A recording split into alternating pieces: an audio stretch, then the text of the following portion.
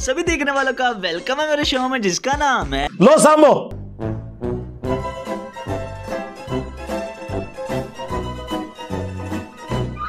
शेख अब्दुल कादिर जिलानी को कुछ लोग मिलने के लिए आए। क्या हुक्म है मेरे आका बताएँ।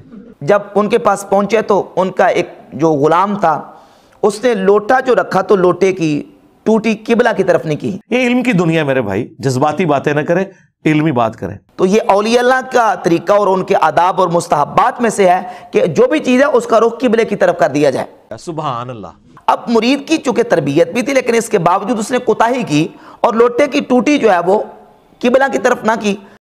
अरे देवा ये गड़बड़ बाबा। तो उन्होंने लोटे की तरफ़ देखा और उस गुलाम की तरफ़ देखा। तो शेख अब्दुल कादिर जिलानी गौसे पाक सरकार रदी अल्लाह अन्हु को इस पर मलाल हुआ। हाय हाय हाय। कि मेरे गुलाम और मेरे खादिम ने इस तरह क्यों किया छटांगे नहीं? कि मुस्तहब को तरक किया तो आपने जलाल से उसकी तरफ़ देखा।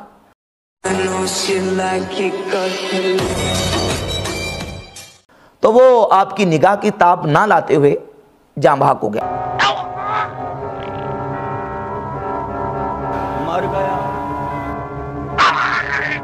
हाँ भाई कैसी लगी? आगे स्वाद। अब इसका मज़ाक उड़ाया और कहा कि ये देखिए ये लोगों ये मज़ाक उड़वाते हैं शेख अब्दुल कादर जिलानी का। और क्या करिए पुठे लटक जाइए। नहीं तो लोगों ने गल करनी है जे बाद बाबे सारे ही प्यारे लगते हैं लेकिन अपने बड़े प्यारे लगते हैं। दूसरों के बाबे अच्छे नहीं लगते